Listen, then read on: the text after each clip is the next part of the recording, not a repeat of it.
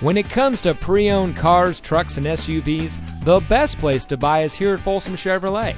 And here's another example of a great Folsom Chevy vehicle and comes equipped with Sirius XM satellite radio, power windows, tilt steering wheel, heated seats, traction control, daytime running lights, stability control, keyless entry, side airbags, air conditioning, and has less than 5,000 miles on the odometer.